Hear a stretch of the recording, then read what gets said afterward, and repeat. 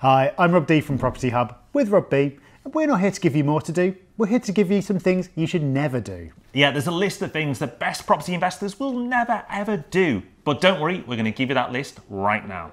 The first thing the best property investors never do is cut corners on professional advice.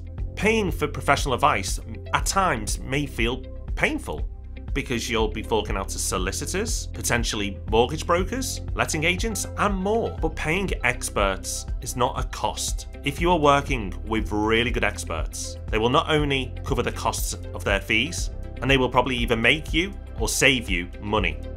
Don't do the learning on the job with property. It's an expensive game, and if you get it wrong, it's going to cost you big time.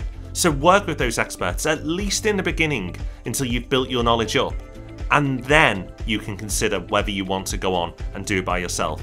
But Rob and I have been investing for a long time now, and we still work with professional advisors. Pay people who are good at what they do and let them get on with their job, and you focus on the things that you need to do. The second thing that the best property investors never do is fall in love with a deal. You see this happen in the most visible way at auction, where people get carried away, they start putting their hand up and bidding way above their limit because someone else is competing for that deal with them.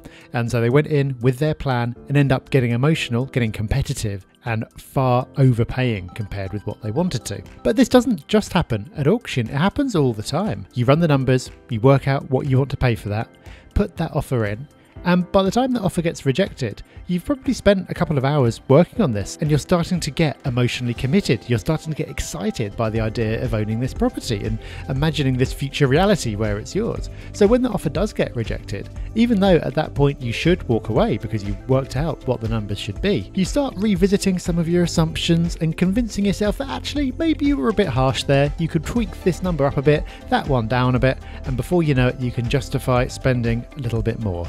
And then, if that offer doesn't get accepted, a little bit more again.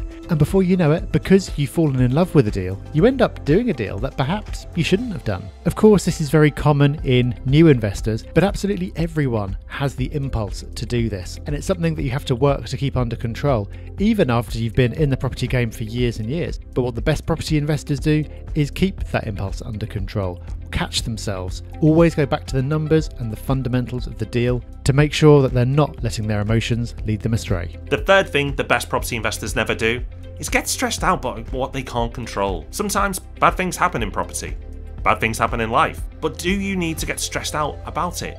No.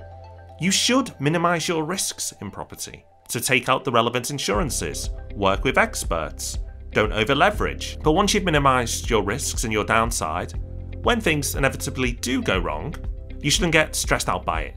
You know, tenants will leave. Sometimes tenants will damage your property, but by working with a good letting agent and having insurance in place and a deposit in place for that damage, any worrying beyond that point is time poorly spent. I remember working with one property investor and she went through every scenario that could possibly happen to her property, negative scenarios. And we worked through all the risks, and we worked through how to minimise those risks. But she was still worried, and it got to the point where her final example of something that could go wrong was a meteorite hitting her property.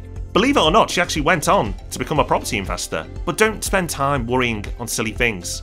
There's lots of other things you can spend your time more usefully on. The fourth thing that the best property investors never do is get influenced by friends, family, and media. Friends and family have your best interests at heart, they want the best for you but they're probably not property experts. If they are, maybe listen to them. But if all they've got to offer is things that they've read or stories that other people who aren't property experts have told them, then it's probably not putting too much weight on their opinion. The media is something you should be even more careful of because, unlike your friends and family, they don't necessarily have your best interests at heart.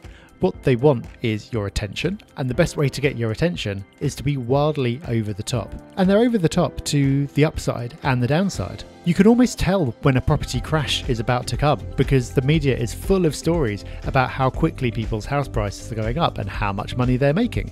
You rarely see any warnings in the media at that point about how this probably isn't sustainable and it might not end well. Similarly, when prices are falling and the market is in a bad way, that's normally the best time to actually invest, but you'll never have the media telling you that. It's very easy to get emotionally whipped around by things like this, and to be deterred from investing when you really should be, and to be egged on to investing when you really shouldn't be.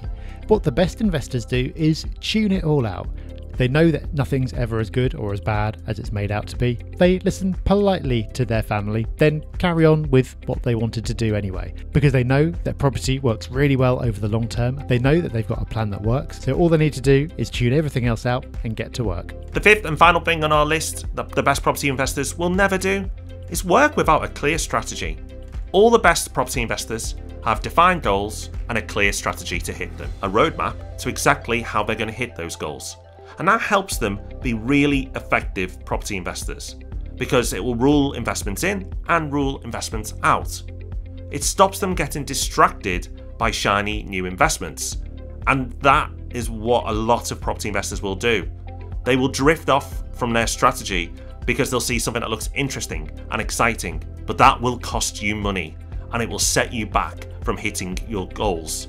So be like the best property investors. Stay disciplined, have a clear strategy, stick to it, and you will hit your goals.